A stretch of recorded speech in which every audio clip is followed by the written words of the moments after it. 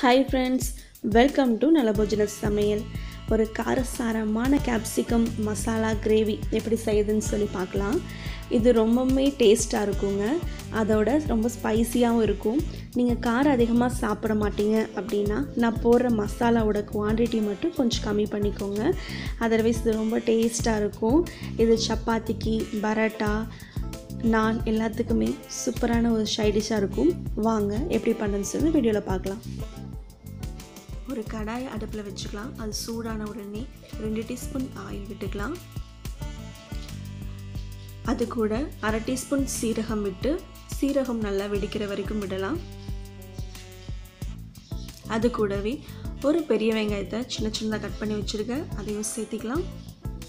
இந்த டைமில் சின்னதாக இஞ்சி ஒரு ரெண்டு பல் பூண்டையும் நல்லா தட்டி வச்சுருக்கேன் அதையும் சேர்த்தி இஞ்சி பூண்டு வாசம் போகிற வரைக்கும் வதக்கிக்கலாம்.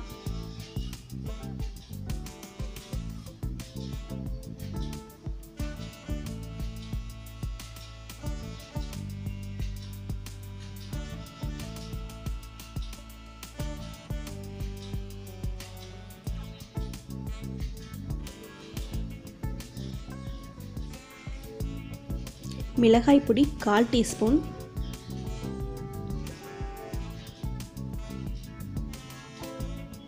மல்லிப்பொடி அரை டீஸ்பூன். கரம் மசாலா கால் டீஸ்பூன். இது மூணையும் பச்சை வாசம் போகிற வரைக்கும் வதக்கிக்கலாம். இந்த டைமில் ரெண்டு பழுத்த தக்காளியை சின்ன சின்னதாக கட் பண்ணி வச்சுருக்கேன். அதையும் சேர்த்து வதக்கிக்கலாம். கூடவே மஞ்சள் பொடி கால் டீஸ்பூன் எடுத்திருக்கேன். அதையும் சேர்த்திக்கலாம்.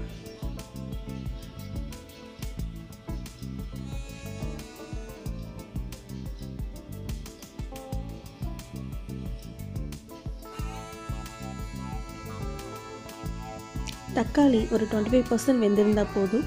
அது கூடவே ஒரு அரை கேப்சிகம் அளவுக்கு நான் எடுத்து சின்ன சின்னதாக கட் பண்ணி வச்சுருக்கேன். அதையும் சேர்த்திக்கலாம். தக்காளியோடு சேர்த்து கேப்சிகமும் நல்லா வேகட்டும். அரை டீஸ்பூன் உப்பு சேர்த்திருக்கேன்.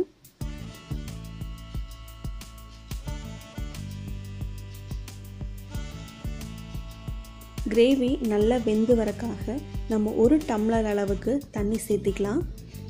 கொஞ்சமாக கிரேவி சுண்டணும் அப்போ தான் நல்லாயிருக்கும்.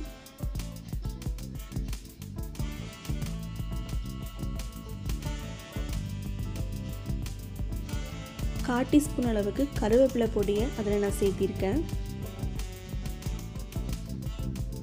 இப்போது மூடி போட்டு ஒரு ரெண்டு நிமிஷம் அளவுக்கு வேக விடலாம். இப்போ பாருங்கள் நீங்கள் இது மாதிரி கேப்சிகமை அழுத்தி பார்க்கும்போது அது பிரியணும். அப்போ தான் அது வெந்திருக்குன்னு அர்த்தம். பாருங்கள் சூப்பரான ஒரு கேப்சிகம் கிரேவி ரெடி ஆயிடுச்சு. இப்போ அடுப்பு ஆஃப் பண்ணிக்கலாம். இப்போ இது சர்வ் பண்ண ரெடி ஆயிடுச்சுங்க. இது சூப்பராக இருக்கும். எல்லாருமே ட்ரை பண்ணி பாருங்கள் வீடியோ பிடிச்சிருந்தா மறக்காமல் லைக் பண்ணுங்கள் ஷேர் பண்ணுங்கள் அதோட சப்ஸ்கிரைப் பண்ண மறந்துடாதீங்க. தேங்க்யூ ஃபார் வாட்சிங்